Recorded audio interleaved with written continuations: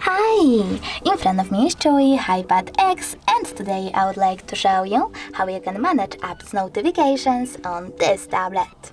First of all, just go into settings and tap on apps and notifications. Then choose notifications from here, scroll down, tap on all from last 7 days and tap on the switcher next to one of your apps, for example Chrome.